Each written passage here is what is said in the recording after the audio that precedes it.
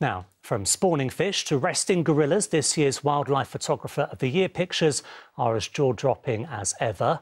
But in what could be a crucial few months for our planet, many of the photos have extra significance. Among them is this remarkable shot taken by Surrey photographer Lara Jackson. It's not actually that picture, that's another one. But she has taken a wonderful picture of a lioness after a kill, which we'll show you in a moment. It's on display with other winners at the Natural History Museum. And from there, I spoke to Lara about how she got her photo. A little bit of luck. Um, I was really lucky enough to be in the Serengeti last July and August um, to watch the wildebeest migration. So this is a time where you've got two million animals moving through the landscape. And really, it's a time where the predators can grab an easy meal, and we just happened to see this lioness as she pounced. Um, we took the vehicle a tiny bit closer, and yeah, she'd taken down a fully grown wildebeest. And unfortunately, the, the kill wasn't clean, and the poor thing was still alive. And as we brought the car closer, she just looked straight up and straight down the lens of my camera and gave me this intense, challenging stare. And yeah, she was very intimidating. Intense is the word for it. Was it quite harrowing seeing that kill so close up?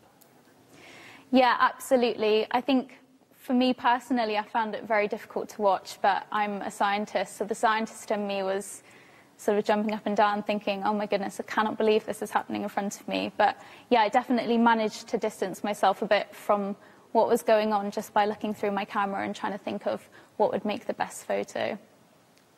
As well as a photographer, a scientist, as you say, you're a conservationist. What that you have seen on your travels has shocked you about our impact on the planet, or are you beyond shock now?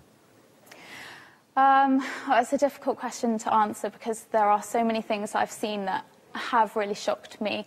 Um, but I think for me, it was my very first trip that I went to. Um, I, so I went to Madagascar, and this is a really a poor country. You know, 80% of the population live below the poverty line, and over 90% of their primary forest has been cut down. And I remember landing in the capital, and it was an 18 hour drive to my research station, and I don't remember seeing a single tree.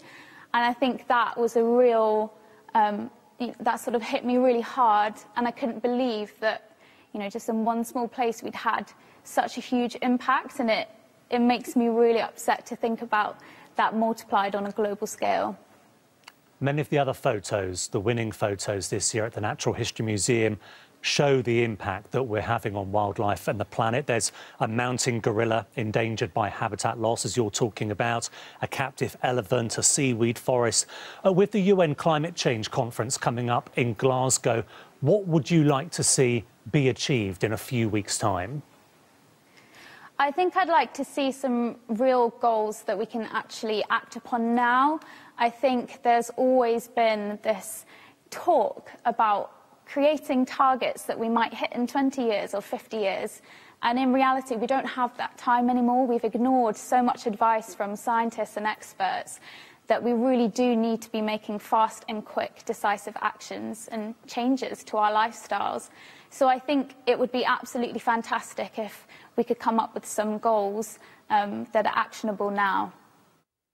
Lara Jackson speaking to me earlier.